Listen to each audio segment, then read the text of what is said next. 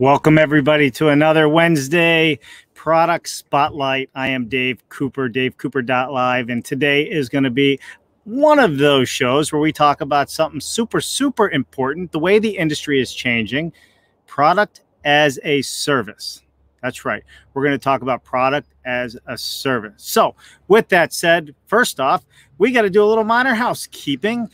I want to say thank you to our sponsors, 4Ward Solutions Group, Ben Hershey and Joe Butler. They are a team of more than 175 years of experience developing and specifying manufacturing for panelized, volumetric, modular industries with best practices in development and implementation. They offer consulting with investors, developers, manufacturers, builders, and using off-site manufacturing methods. 4Ward Solutions is driving companies to succeed where others have failed. Uh, to find out more information or to look at their services, please visit or email ben at 4wardsolutionsgroup.com or go to their website, 4wardsolutionsgroup.com. Uh, they have been amazing. I know Ben and I know Joe. And I think uh, if you are in the market for somebody to help you with new solutions, new technology for manufacturing, they are definitely the go to folks to do that. So thank you again. Information's in the ticker below. All right, everybody, we are live on LinkedIn, YouTube, Facebook, and Twitch. And why are we live on Twitch? Well, that's where the young people are, and we're trying to get their attention in this industry that we all love so much. So, uh, today is going to be about a 30 minute show. So, I welcome everybody to stay the full 30 minutes. We are in preparation this week with our road show, and we have plenty of appointments and things that we need to take care of. So, this week is going to be a week where we are having these types of conversations versus interviews, but we will be getting back into that next week. So, all right, how do we start? Where do we start?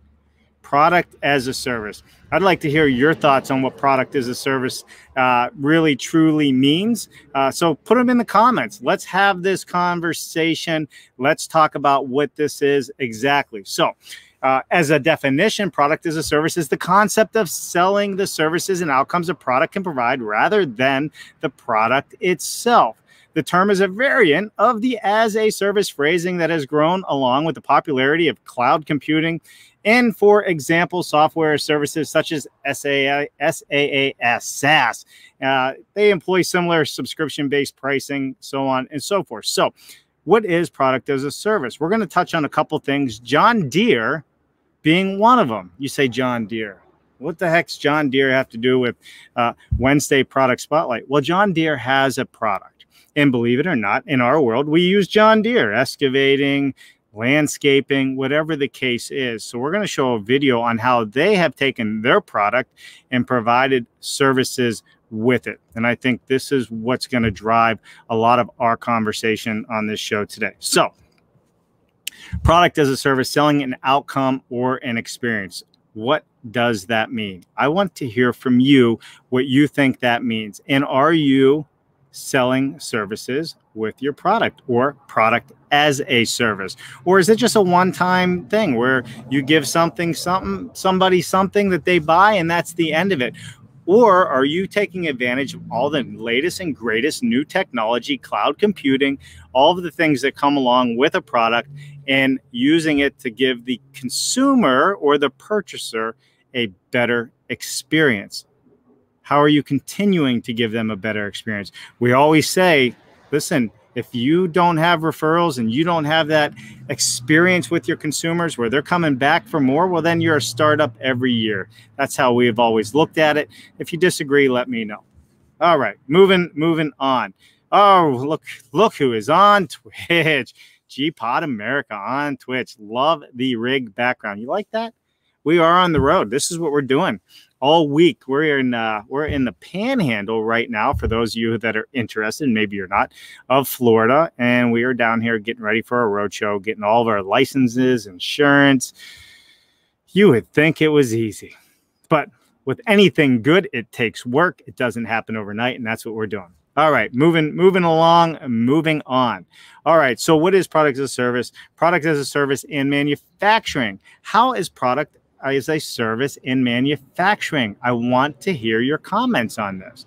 what is product as a service in manufacturing? We really want to start talking about this because this is the future. This is what is happening, and a lot of companies are doing this. Again, this is why we're going to show a John Deere video that is that talks about and shows not only the product as a service, but it puts the emotional impact with it with the consumer who is using it. In this case, it's the farming industry. And if anybody hasn't realized, guess what?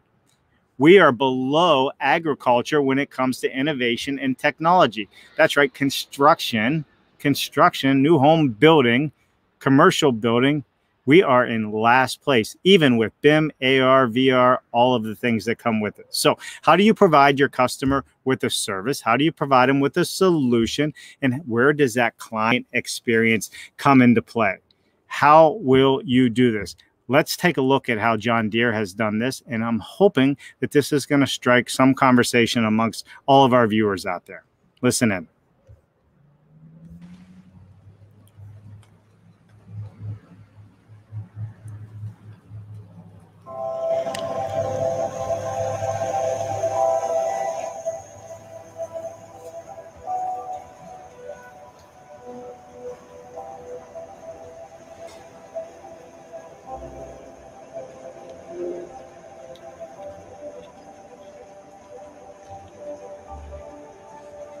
The front should pass by midday.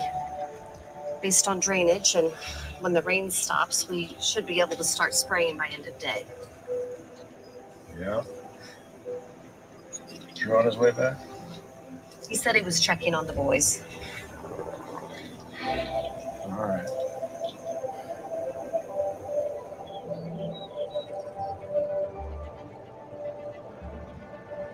Message from Walker Keene, John Deere dealer.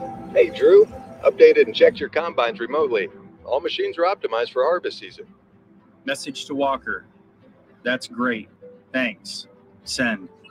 Message sent. Kate, did you see the latest? Looking at it now. Dad's, you know, worried.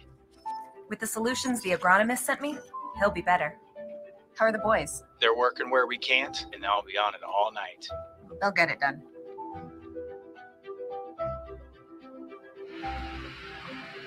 Your machines are set for projected yield and moisture. And we're also updating firmware on Harvester 3 tonight. That's great. Hey, let's take a look at fields five and six tomorrow. May want to change some settings there. Yeah, sure thing. We'll check in tomorrow. Have a good one. Thanks. You too, buddy.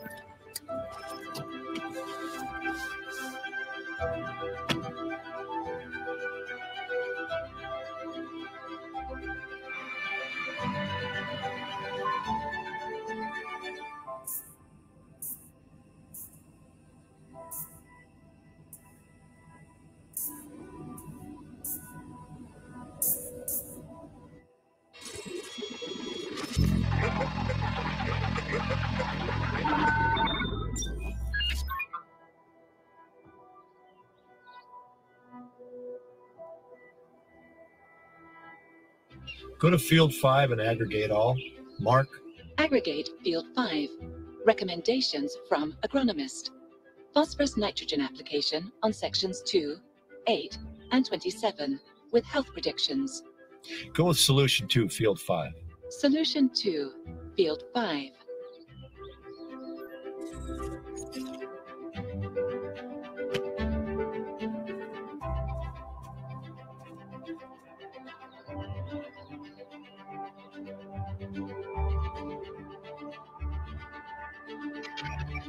They look great. Mm-hmm. With the weather, prices are up by 10 cents at the elevator. You want to sell? It's not bad. Yep. Shall we? Let's do it.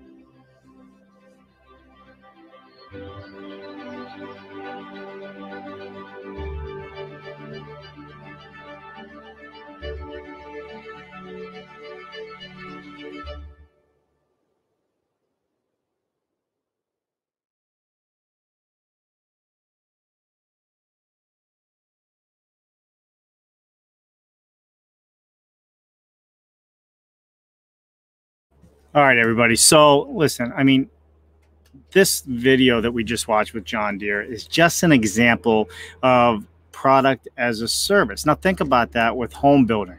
I see that GPods is on here right now. Think about this, right? Think about how do you provide a service long after you've delivered your product? What is it that you can do? Did anybody out there know that John Deere was doing all that? That that they had a whole technology and agricultural sign, health experts for agriculture, uh, working with the farm community to grow better farm crops. They became a partner with the farmer. That is their service on top of just selling a really great tractor, right? So think about that in home building. Think about that for air conditioning and for healthy homes, mold, moisture. What are the things that we could be doing in our industry that is going to help make the consumer's life better? What is the service that we can provide them? I mean, this is kind of the future. This is not going to happen. This is happening. And this is a buzz topic right now product as a service. So I'd love to hear your thoughts on this. We'd like to know who you think we should have on the show with this type of conversation. Who is doing this? Who is doing it better? All of these questions definitely come up. So I love it. GPods, love the, the rig background. Thank you. We want to design manufacturing and operations to wrap into our product and service long term value offerings to go deer. Yeah, for real. I mean, think about it. I'm tired of being in last place in this industry, and we're going to change that. We're going to change that collectively, and we are going to not be in last place when it comes to innovation, technology, and doing the right thing for the for the for the consumer in our industry. And how do we get there? How do we how do we get there? So, as we go through this today, like I said, we're going to have a short conversation on this. Um, but looking forward, you look at people that are doing digital twins. You know, let me just put it up here, right? The mirrored environment product as a service. You look at, and, and I'll bring it up, you look at uh, Revia, right? Uh, Splash Modular, what Joel's doing. He's providing a product as a service, not just for one person, but for people all over the place. So you take into account the people that are starting to look at what their product is and how it becomes a service by taking the the solid hard piece of a product or the cloud-based product and providing services around it this is what's going to drive our industry forward look at the automobile industry satellite radio, vehicles that are autonomous, vehicles that are talking to one another, self driving, right? Think about it. These are products as a service. I would love in this motorhome behind me if when we have our 10 hour drive days to just hit cruise control and take a nap. It's not happening, but that would be a great service for somebody like us that's currently on the road doing what we are doing. So I, I, I welcome any conversation that uh, that that talks about this, that shows this, uh, in in in any any ideas on what you would like to see. We are building our show. We are going to be talking about homes of the future moving forward, not just the people that are changing how we build. We're going to talk about how it's going to shape the homes of the future, and I think that's great. Jerry McCullough, extremely interesting. Thank you. Well, thanks for joining us, Jerry good to good to see you having having you on the platform today. All right, where do we go from here, everybody? I mean, I hope first of all everybody's warm. I am uh, obviously sitting outside. We are in we are in the Panhandle of Florida, and we are live right now on LinkedIn, YouTube, and Facebook. So please be sure to hit that like and subscribe button. This is a prep week for our road show, uh, and we would appreciate all of you out there to join us. We're going to have a lot of fun as we move through this. All right. What does your technology stack look like? Here is another question that we need to answer, right? What does your technology stack look like? What are you using? What are you looking at? So that's great. You have the next best widget. What is your technology looking like? Put it in the comments. We're interested to learn more, right? Are you developing internal solutions? Or are you creating partnerships? Which one are you doing? Are you creating and developing internal solutions to your technology, to your services that you are offering with your product? Or are you going to create partnerships? In a lot of instances, it would probably make a lot of sense for companies to create partnerships around their service. And then the last question, and maybe it should have been the first question Are you considering your product as a service or do you think it's overrated? Is your product as a service? I want to know. Let us know. Let everybody here know. Is your product as a service? And the last question we're going to ask that we would like comments on. And here's what's great about the audience a lot of you love to send you know private messages. Perfectly cool. We love that. Put it out there however you want to do it or put it in the comments here if you're watching it now. But are you future proofing your business in a digital world? Are you pro- i can't say it. Are you future proofing your business in a digital world? These are the questions we're going to be answering. This is what's coming up on our roadshow. Please give us your comments in the comment section or send me a DM. I guess that's what they call it, or PM, private message, however you, you feel most comfortable doing it. And we're going to continue these conversations all week and more questions. And, and, and we're going to keep building what we're doing on this show. So let's run through it one more time. This is what we need answers to. Today we are talking at as about product as a service, selling an outcome or an experience. We showed the John Deere video, gives you kind of a high overview of how is a tractor manufacturing company using technology and cloud-based services to give their consumer a better experience. And on top of that, not only is it a better experience, it increases the longevity of their relationship. We don't just want to sell something, we want people to stay with us we want to offer them solutions. So by offering solutions, you retain you retain the consumer for far longer, greater profits. There's all kinds of benefits that come out of that as well. But you to create profit, you have to provide a solution to them or an experience that they're willing to pay for. All right. The Internet of Things, product as a service in manufacturing. How are you using the Internet of Things as a product as a service in manufacturing? Let us know in the comments. Service, solution, client experience. How are you doing these three things? Do you have a service? Do you have a solution? Do you offer a client experience? All, all very valuable questions you should be asking yourself and your organization. How will you operate? How will you innovate? How will you collaborate? How will you? Where your business strategy versus technology strategy are they the same? Is your business and technology strategy different or are they the same? Are you going to bring technology into your business? If so, how? We've all heard it. We've been dealing with it. Digital twins, the mirrored environments, right? Build it two or three times on the computer before you build it on paper or sorry, before you build it in the field. We used to do it on paper. Digital twins. How are you using it? Will you be using it? Are you an architectural firm? Are you a manufacturer? These are all very important questions. Operational optimization, predictive analytics. As you saw earlier in the John Deere, this is all happening. They are using it. We will not be in last place anymore. We are going to take this to the next level. Let us know your thoughts on all these things. We want to talk about it. We want to talk about it a lot moving forward on our show. Stacking your business. Are you using collaborations, mergers, acquisitions? Is this important to you? Is this something that is part of your business plan? Let us know. We are going to be covering all of these things. And if you have some comments, put it there. Let's have a conversation. Developing internal solutions, or are you creating partnerships? This is all part of the conversation. You know, as businesses out there, we always feel that we are on a island by ourselves. But the reality of it is we're all faced with the same problems and and and maybe different solutions to the problems, but the problems are the same for the most part. We all have to figure out how we go to market. We all have to figure out how we provide the best customer experience. Is our widget the best widget it can be? How do we stay ahead of the competition. We all have these issues to contend with and deal with. So, are you developing internal solutions or are you creating partnership? Partnerships. What makes the most sense?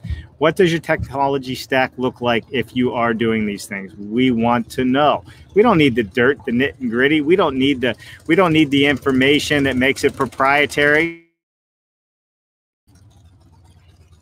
All right. Are you considering your product as a service? Is the question today. We are going through it. And how are you future proofing your business in a digital world? How are you future proofing it? Where you go, where you go. That's uh, from from Buzz. I don't know if I lost my signal or something, but Buzz, we're here, man. Where you go is the question, right? Where do you go? Where do you take the uh, to the next level? In fact, maybe I see Jennifer's putting a post up here. Let me read it. Construction technology 2021. How will the digital twin also improve the experience for the homeowner or builder's occupants? Optimizing their experience, comfort, and well-being helps create repeat business. Imagine that. Imagine if the consumer of your product, of your house, of your building is coming back for more. Coming back for more. A lot of people don't realize it, but it is possible to have a customer come back and reuse your product, rebuild with you, rebuy from you, whatever the case is, over and over and over again. The life cycle of a consumer is long. And if they're treated well, if they're treated right, and you're providing them solutions to what they are looking for, then it's a win win for sure. Let's hear your thoughts on this for sure. All right, Jennifer, very good, very good. Jerry McCullough, thank you so much for joining us today. G Pods America, everybody, put your comments in the comment. Put your comments in the comments. Does that make sense? Put your comments in the comments. And if you're watching this live, do it now. If you're watching it tonight or this weekend, trying to catch up on things, put it in there as a lot of you do. If you want to send me a private message, you know, because you're not the public type and there's a ton of that out there, send us a private message as well through LinkedIn, Facebook, whatever it is. However, you want to do it, my phone, it doesn't matter to us. We are taking this to the next level. We're going to be having some fun. And as always, join us on our road show. We have officially started the road show unofficially. Uh, we are getting through some of the paperwork and everything, but we want you to join us. We want you to sponsor if you would like to sponsor. We want you to let us know if we should come to your location and where is that location? What are we going to talk about? Send us a private message, send us a message in the comments, whatever you want to do. This road show is beginning. We are starting. We'll be uh, in Alabama next uh, week for a few days. Then we're going to be back probably in Florida and then working our way back north and west. When I say north, we're going to try and stay in the warmer weather until it clears up a little bit. But let us know where you are, what you're doing. And if you have something that is better or you're being innovative and you would like us to work with you to possibly come by and showcase your product, your service, and what you're doing, send us a message. We only know you're out there if you tell us, or if you know somebody that would like us to stop by, refer us. We always appreciate that. Uh, let's see what we got here. Henry Mickelberg. What's up? I don't really understand this, but I think that my Alfa Romeo is a product that just keeps mechanics in business as a service. Well, you know, hey, that's true. Listen, we have a GMC Acadia. I couldn't even change the light bulb on it. You're right. Some sometimes sometimes a manufacturer can make a product so difficult that you have to buy their service. I'm not sure I agree with that one. 500 bucks for just the bulb and I can't even change it anymore. My in my old uh, my old cars, man, you could just reach in, and unplug it, put a new one in. You know, forty bucks later, you're you're up and running. but you are absolutely right. So, but it is about future proofing your business, and you know, the automobile industry has a lot of this stuff figured out. Whether you agree with how they do it or don't do it, Alfa Romeo being one of them. Um, good to see you, Henry. I hope I hope all is well on your end. All right, everybody, listen. Thank you for tuning in today. I have to run to some appointments, but let's talk about this. Send us your comments. I want to learn more about what you think product as a service is. What product or service do you have? And as always, let us know where you are, what you're doing, and if you would like us to swing by your location during our road trip and stream live on location, showcasing what you are doing, what your product is doing we want to know we want to do it. Because at dave cooper live we are bringing you the people and the processes that are building it better. Our guests and topics include building and experts in building systems the building science building codes and the tech used to build it better. And our show coming up this road show is going to be no different. We are seeking out the best and the brightest in the construction industry and discovering all the ways that innovative buildings come to life. So please let us know my BMW just works as a product. I love it. All right, Henry. I love it. I love it. I want to go for a ride now for a minute. I've never been in one of those. Sounds like it'd be a fun ride if it's not broke down. All right, everybody, listen, my name is Dave Cooper. Thank you so much for tuning in. Stay tuned. We have a lot coming up. Our road show is beginning. Enjoy. This is what's behind us. We're living in this and we are traveling the country, bringing you all the people and innovations that are doing it different. I'm Dave Cooper. Thank you so much for tuning in today. We will see you tomorrow on Increasing Influence with Miles Biggs, Biggs Ideas at 1 p.m. Bye now.